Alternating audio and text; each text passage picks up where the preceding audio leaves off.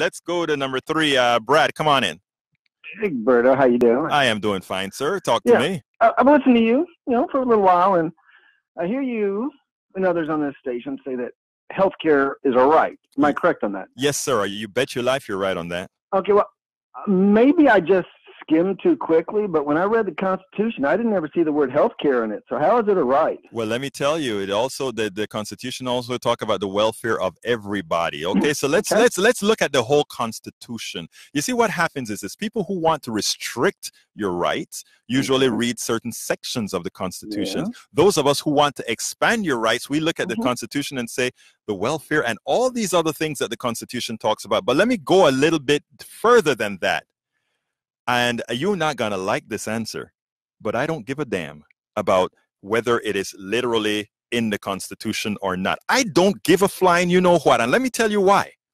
Because more than the Constitution, I am a humanist. More than the Constitution, I believe in humanity. Mm-hmm. So therefore, the reason the Constitution have the Second Amendment that a lot of people are using to claim they can get a gun that can murder as many people, I am saying if I had the right to do it, I will get rid of those guns that are hmm. hurting people. And I don't care what the hell the Constitution says in that regard, because I care more about people than a damn document. That's called a dictatorship. I don't care what you call it, though. I call it supporting humanity. That's you a can- dictatorship. Oh, you know, no, no, no, no, no, no, sir, my dear it's bro, not my dear, to, to, for example, the Supreme Yes. Court and the judicial branch.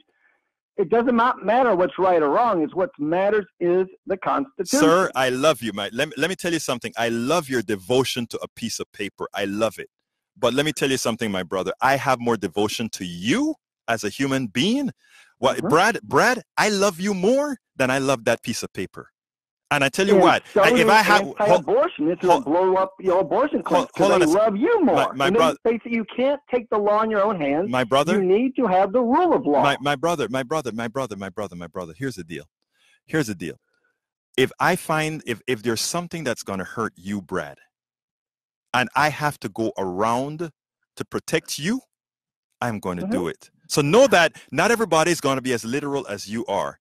Okay. And when you don't need me to be literal because your butt's on fire, Okay. know that there's going to be some Egbertos and there's going to be some other people around that's going to be there like for you, that. brother. That's nice. And you know what? I'm gonna be drinking a Coca-Cola today, Uh-huh. and that's bad for you because the high fructose corn syrup. So why don't you come over here and, and empty it out? Let me tell you something. I won't do that because that is different, right? Uh, something. different? let me tell you what- More people die from diabetes in one day Yes, than yes. die from you know, But brother, burn, you know, other things. my I mean, brother- dying a lot. my brother, my brother, my brother. That's not that good example, brother. That's not a good example. Use another one.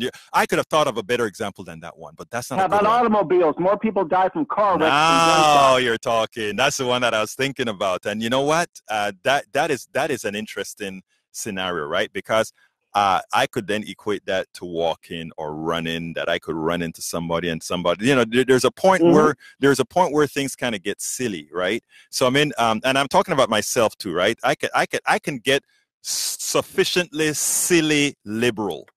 I can get there. And why I always tell people when you know I go to conferences all over the country, right? And I'll tell folks, you know, I love conservatives for one specific reasons. They force me not to make my progressivity, my liberalism, take me to the silly. You get what I'm saying? So I need you. You're a conservative. I need you.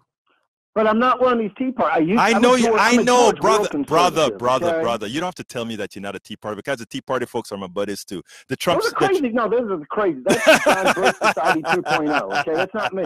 I listen. Let me tell you something. I don't only want to talk to the choir. So when you tell me that, you know, I went to a Daniel Boone stuff in in in West Texas, uh, not West Texas, West West Houston, where the descendants of Daniel Boone's, who were big time Tea Party uh, folk, Huh. are out there, right? And we sat down in a in in a in a in a honky tonky bar, and you know, people see this black black dude walk in there, and they were like, "What the hell is he doing here?" And my thing was like, "I came to understand you guys, man," and we sat down and had good conversation. Some some things got changed, not everything. You know, they some of their mentalities stayed the same. But my thing is engagement always solves the problem. Now, when it comes to you and your your view on the Constitution, I definitely don't. I don't hold a loyalty to a document that once held me as three fifths of a person.